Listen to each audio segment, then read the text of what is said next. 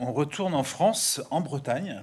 Alors effectivement, euh, Bretagne, euh, quatre départements, une histoire entre, euh, alors pour ceux qui connaissent, Nominoé, roi, père de la, roi des Bretons, père de la Bretagne, la fée Marianne, la fée Viviane, Merlin, l'enchanteur, la foi de Brocéliande, ou un peu plus moderne, les, les les bigoudens, les crêpes saucisses, les menhirs, etc., etc., mais un petit peu cyber quand même avec le, le radome de Plumeur-Baudou, pour ceux qui connaissent, hein, dans les années 60, les premières liaisons satellites, les retransmissions euh, télévisuelles. Et puis, grâce à la DDE, on peut suivre et retrouver euh, vers la pointe de la torche la, rue et l'impasse des câbles sous-marins. Je vous laisse imaginer ce qu'il y, a, y a au bout. Il y a évidemment beaucoup de, beaucoup de cyber. Ça, c'est une vraie photo que j'ai prise hein, en allant là-bas. Alors on va avoir euh, la chance d'avoir aujourd'hui euh, un invité euh, qui a contribué localement, enfin régionalement, à un mini panneau crime. donc au sein du groupe de travail numéro 2, avec deux principaux contributeurs, Alain Bréguin d'OCD et Stéphanie Ladel, qui est actuellement boursière de recherche en OSINT auprès de Bellingcat, à qui je vais, je vais passer la parole. Juste après avoir présenté le Plusieurs Bretagne, donc créé pardon, en juin, en juin 2021, donc déjà 127 adhérents avec une, majorité euh, d'utilisateurs, hein, il y a près de 70% des personnes, et puis euh, une répartition qui n'est pas encore complète sur les, quatre euh, départements. Il y a peut-être le Mont-Saint-Michel ou les Parisiens qui représentent les, autres à définir. Mais en tout cas, voilà. Donc, je suis très content de passer cette fois-ci la parole à, Stéphanie pour présenter le panocrime régional Bretagne, qui est une grande première au panocrime bonjour à tous. Euh, d'abord, euh, un grand merci euh, au Clusif d'inviter notre Clusir à ce nouveau panneau crime. je vais commencer par parler de nous, donc parler plutôt de la Bretagne dans un sens positif auprès de la cybersécurité. On a 160 entreprises, 8000 emplois, ce qui correspond à peu près à 15% de l'effectif national en cybersécurité. la région forme 3500 étudiants par an dans le domaine de la cybersécurité. Est-ce que avec moi ça marche? Non. Oui, ça marche. Il y a deux boutons verts.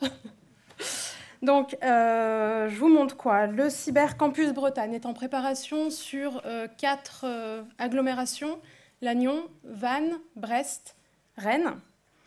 Le CIRT, le CIRT Brest Cyber est officiellement lancé pendant le salon ECW European Cyber Week en novembre, donc euh, événement rennais.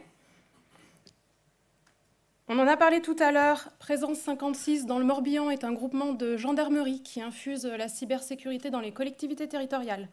Hein, à partir de, de diagnostics cyber, 50 euh, sessions à son actif pendant l'année.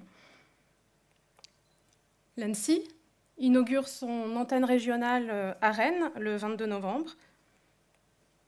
Et on finit par euh, le programme EDI, qui est euh, sur des fonds européens, consacre trois thématiques en Bretagne, l'intelligence artificielle, la transition numérique et de nouveau le diagnostic cyber. On va passer euh, à autre chose. On va parler des cyberattaques en Bretagne en 2023. On va commencer par la partie du public. On va commencer euh, dès janvier avec euh, des informations sur des panneaux lumineux à Vannes, avec des inscriptions tout à fait atypiques, type Allah Islam, puis acte shadow.krd. On peut comprendre que cela a été la cible d'une attaque de pirates. On enchaîne avec euh, l'association Appui Santé Nord Finistère qui euh, se fait euh, donc attaquer dans le cyber avec une fuite de données de santé euh, crainte qui n'a encore jamais été démontrée à ce jour.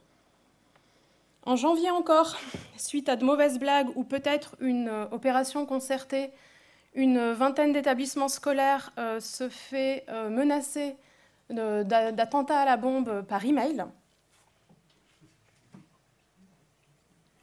Un peu plus calme, je, vous le fais dans l'ordre, ça va ou... Ok, il n'y a, pas de, de problème chronologique.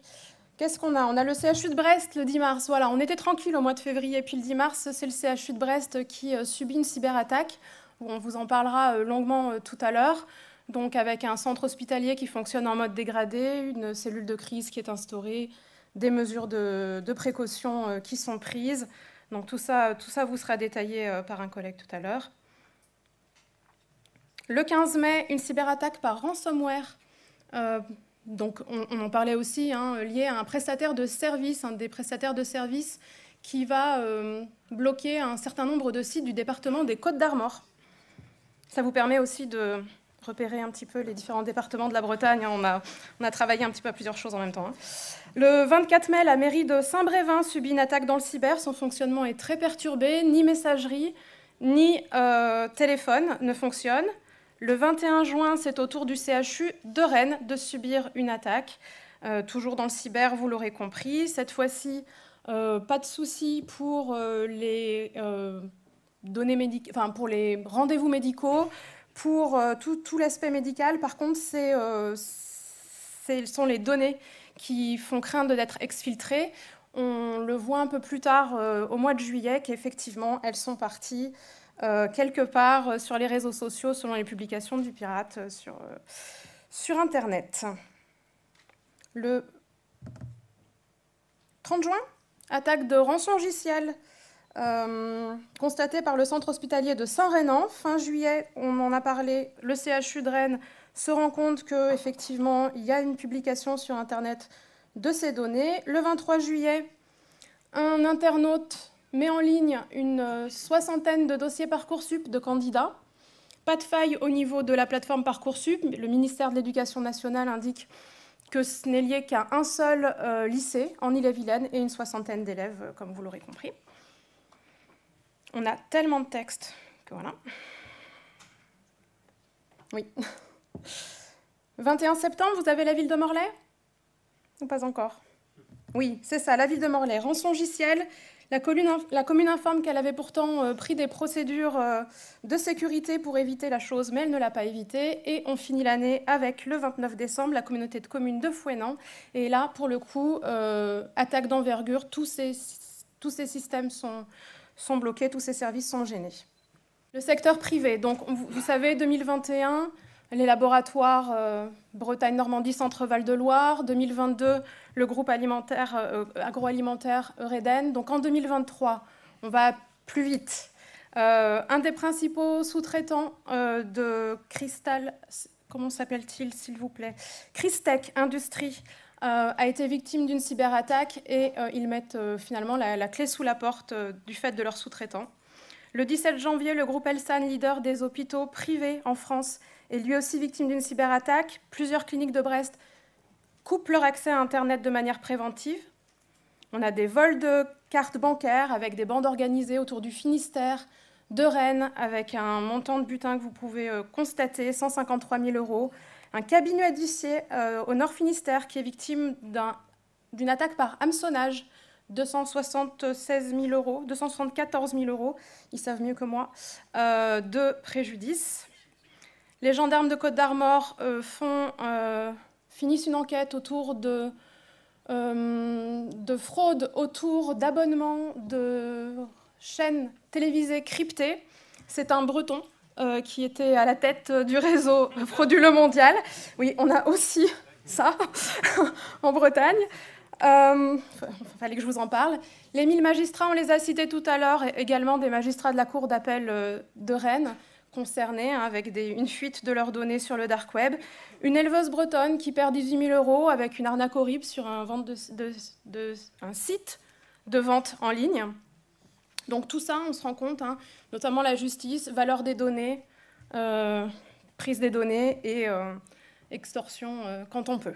Donc pour résumer, secteur principalement touché, les écoles, les collectivités territoriales, les hôpitaux, la justice rançongiciel dans la majorité des cas, et je le rappelle, malgré un super euh, écosystème euh, cyber euh, breton et 15% des effectifs nationaux, avec très probablement la donnée en ligne de mire pour sa valeur, pour sa valeur financière notamment, puisqu'on voit essentiellement le vol de données, le chantage, l'extorsion. Merci.